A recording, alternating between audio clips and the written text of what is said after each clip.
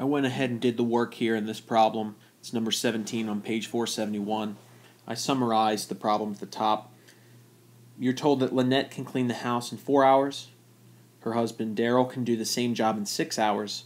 If the two work together, how long will it take them to clean the house? Remember, in this problem, we need to convert all the information for each person into a rate. And typically, we like to have rates with time in the denominator.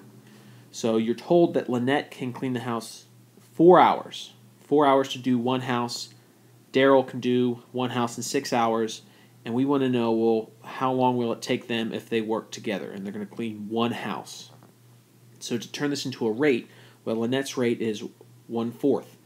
She can clean a quarter of a house in one hour. So we're just taking the four hours in the one house and inverting it to be one house in four hours.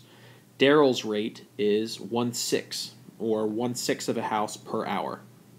And we want to know the rate if they work together. So 1 over x will be the rate that they clean the house in one hour. So you need to multiply the both sides of the equation by the least common denominator. And in this case, 4, 6, and x gives us a least common denominator of 12x.